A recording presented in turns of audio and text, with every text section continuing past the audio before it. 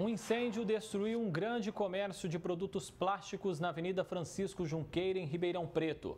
O fogo começou durante a madrugada e mobilizou o Corpo de Bombeiros, que fica próximo ao endereço.